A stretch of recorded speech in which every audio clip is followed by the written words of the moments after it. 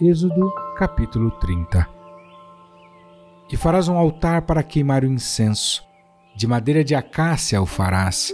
O seu comprimento será de um côvado e a sua largura de um côvado. Será quadrada e dois côvados a sua altura.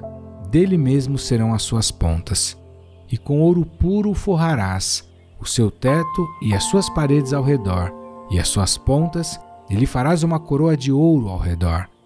Também lhe farás duas argolas de ouro debaixo da sua coroa. Nos dois cantos as farás, de ambos os lados, e serão para lugares dos varais, com que será levado. E os varais farás de madeira de acácia, e os forrarás com ouro.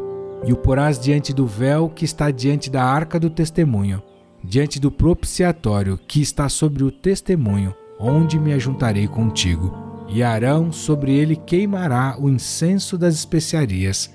Cada manhã, quando puser em ordem as lâmpadas, o queimará. E acendendo Arão as lâmpadas à tarde, o queimará. E este será incenso contínuo perante o Senhor pelas vossas gerações. Não oferecereis sobre ele incenso estranho, nem holocausto, nem oferta, nem tampouco derramareis sobre ele libações e uma vez no ano Arão fará expiação sobre as suas pontas com o sangue do sacrifício das expiações. Uma vez no ano fará expiação sobre ele pelas vossas gerações. Santíssimo é ao Senhor. Falou mais o Senhor a Moisés, dizendo: Quando fizeres a contagem dos filhos de Israel, conforme a sua soma, cada um deles dará ao Senhor o resgate da sua alma. Quando os contares, para que não haja entre eles praga alguma, quando os contares.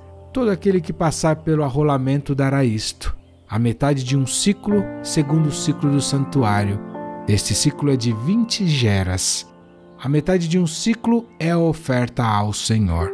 Qualquer que passar pelo arrolamento, de vinte anos para cima, dará a oferta alçada ao Senhor. O rico não dará mais e o pobre não dará menos da metade do ciclo. Quando derem a oferta alçada ao Senhor, para fazer expiação por vossas almas. E tomarás o dinheiro das expiações dos filhos de Israel, e o darás ao serviço da tenda da congregação, e será para memória aos filhos de Israel, diante do Senhor, para fazer expiação por vossas almas. E falou o Senhor a Moisés, dizendo: Farás também uma pia de cobre com a sua base de cobre, para lavar, e a porás entre a tenda da congregação e o altar, e nela deitarás água e Arão e seus filhos nela lavarão as suas mãos e os seus pés. Quando entrarem na tenda da congregação, lavar-se-ão com água, para que não morram. Ou quando se chegarem ao altar para ministrar, para acender a oferta queimada ao Senhor. Lavarão, pois, as suas mãos e os seus pés, para que não morram. E isto lhes será por estatuto perpétuo a ele e a sua descendência nas suas gerações.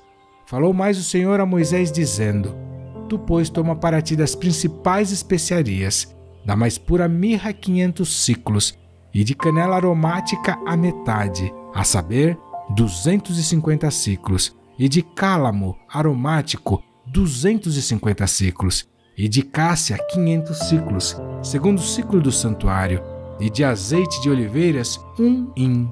E disto farás o azeite da santa unção, o perfume composto segundo a obra do perfumista, este será o azeite da santa unção, e com ele ungirás a tenda da congregação e a arca do testemunho, e a mesa com todos os seus utensílios, e o candelabro com os seus utensílios e o altar do incenso, e o altar do holocausto com todos os seus utensílios, e a pia com a sua base. Assim santificarás estas coisas, para que sejam santíssimas. Tudo que tocar nelas será santo. Também ungirás Arão e seus filhos, e os santificarás para me administrarem o sacerdócio. E falarás aos filhos de Israel, dizendo: Este me será o azeite da santa unção nas novas gerações.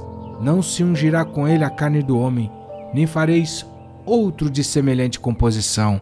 Santo é e será santo para vós.